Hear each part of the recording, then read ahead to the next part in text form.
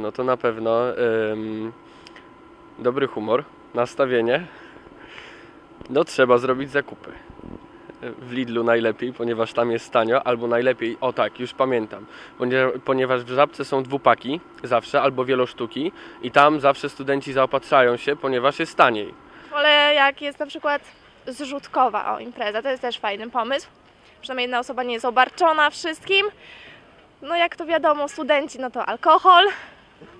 Wedle, wedle upodobań, niektórzy wódeczka, piwko, winko, zależy. O Boże, ja uwielbiam gotować. Ja, najba- naj...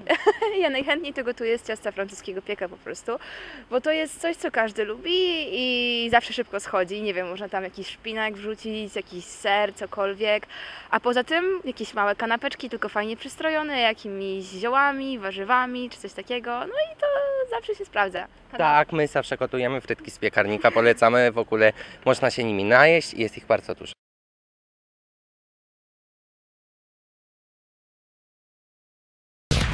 Radio Gdańsk.